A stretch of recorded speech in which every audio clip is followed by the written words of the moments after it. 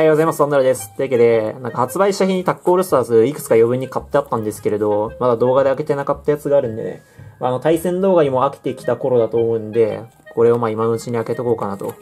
で、あとしっかりこのスポンサーしてもらってるトイガーのサイコロのね、アピールも欠かさないということで、まあたまにはこういうのをちゃんと宣伝しておかないと、スポンサーしてもらってる人に嫌われそうなんで、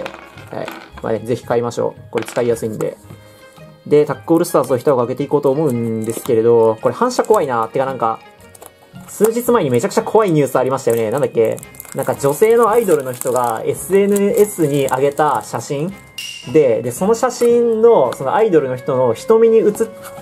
てる反射から、なんか住所特定されて、で、なんかファンのタグが家まで襲撃してきたみたいな。あれマジで怖いっすよね。特に女の人めちゃくちゃ怖いっすよね。はい。あの、女性の方マジで気をつけましょう。なんか男の、なんか世の中の男なんてね、そんな奴らばっかなんで、すごい偏見入りましたけれど、あでもそのぐらいのなんか警戒をしておかないといけないっていうのは悲しい話ですよね。まず、雑に開けていきましょう。な、これそう、なんだっけ、僕よくあの対戦動画に出てもらってるエデンさんっていう人がいるんですけど、その人が SR10 枚箱を発売した日に当ててましたね。いいな。僕も SR10 枚、10枚パック当てるまで、あ、これ開け続けないといけないのかな。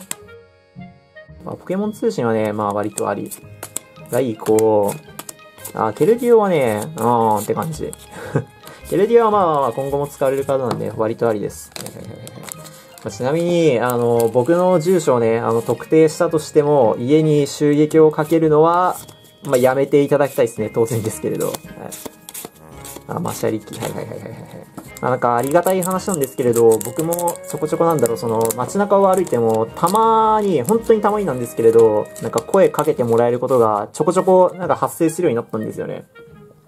まあなんかそれは基本的に今なんか出先なんでいいんですけれど、家の近くとかで話しかけられるとね、まあたまにちょっと怖くなるタイミングとか、まあなくはないんで、溶接工はね、あり。えー、はいはいはい。でもこのパックってこの箱の SR 枠まだ出てないっすね。ちなみに昨日もポケモン GO のなんだっけ、えっと、レイドアワーあの、伝説ポケモンのミュウツーが大量に発生するっていうポケモン GO のイベントがあったんですけれど、それのイベント中僕一人でポケモンが、ポケモン GO やってたんですけれど、普通に視聴者の人に2回ぐらい話しかけられましたね。まあ、一人でポケモン GO やってて話しかけられたんで、まあ、これからポケモン GO 実況者として生きていくのもまあ、ありなんじゃないかなと。まあ、なしだと思いますけれど、カスタムキャッチャー割とある。ジラーチ。あ、このパック結構強いですね。ジラーチってか、この箱は、そのなんだろう、人に言われて気づいたんですけれど、プリズムスターって箱1らしいっすね。だからなんかそのメタモンとか、メタモンプリズムスターとかも、実はなんか今、意外とまあそんなに、まあ値段落ちたは落ちたんですけれど、でも一応1枚5、600円はするみたいな。あ、現地集合の用紙ね。これを使った対戦動画は、えー、数日前に上げてるんで、ぜひまあね、見ていただけたら嬉しいかなと。SR 作るんだろうなああ、UR か。ゲコソロの UR か。ああ、って感じ。ここがね、そのレシリザとかミュウミュウだったら今すごい使われてるカードだし、まあ嬉しいは嬉しいんですけれど、ああ、まあまあまあまあ、ゾラークはまあ個人的にはまあありっちゃありっすね。はい、ゾラークは個人的に思い入れのあるカードといえば思い入れ思い入れのあるカードなんで、あまあただゾラーク GX の寿命も、あと、1ヶ月半いや、もうちょいあるか、2ヶ月ぐらいあるんですかね。11月29日で、まあレギュレーションが変更されるんで、まあ、それまでね、しっかりドラッグ GX は使い倒していきたいところなんですけれど、まあ、別にそのエクストラレギュレーションだったら今後も使えますからね。まあ、エクストラレギュレーションでゾロアーク使うのもありなんじゃないかなと。っていうかなんか、今さ、その、ああ、エクストラレギュレーションの、そのなんだ、エクストラバトルの日っていうイベントがあって、それで勝つとなんだっけ、リーリエ、グズマ、アセロラのプロモカードが入ったパックがもらえるんですよ。あれに入ってるリーリエとかアセロラが今普通になんかやばい値段するらしいですね。10万、10万ぐらいしてたかな、確か。で、まあ配布枚数で言うと、なんだろう、今年も夏にあったミュウツー HR SR 争奪戦とまあそんなに変わらない枚数ではあるんで、まあ確かに、あの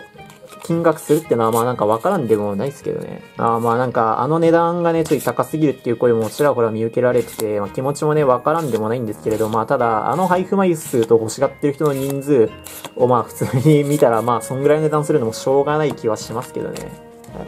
じゃあラスト1パック。SR10 枚パックなかったですね。てか僕、タックオールスターズの引き今回めちゃくちゃ弱いんだよな。でもなんか SR のカードでさ、なんかそのすごい当たりみたいなやつ僕引いた試しないんだけれど。カメックス。カメラもな、マジで最近マジで調子悪いんだよな。はい、えっと、ゲッピー。あ、雷エネルギーはね、被ったね。はい。まあ、自分がアップした写真でね、まあ、どんな風にして自分の個人情報がバレるかはわからないんで、まあ、SNS に写真を上げるときは気をつけましょうと。まあ、僕もね、動画アップするときは気をつけようと思いますっていう動画でした。ご視聴ありがとうございました。バイ